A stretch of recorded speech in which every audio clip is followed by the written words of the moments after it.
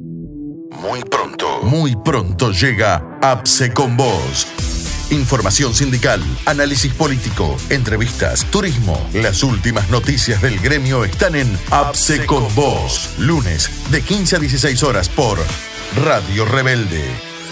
AM 740.